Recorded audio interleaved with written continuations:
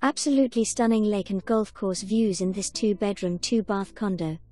This third floor lakefront home features impact resistant windows, new roof in 2018 and hashtag X 2013. The southern exposure bathes the condo in sunshine and the views are amazing.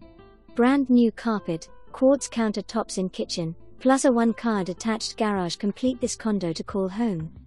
The island is located on an intimate cul de sac which includes a sparkling community pool and amp, spa, social room, tennis courts, barbecue area, and miles of walking, jogging, and bike paths nestled within the communities and hashtag X 2019, expansive setting of lakes, preserves, and golf course.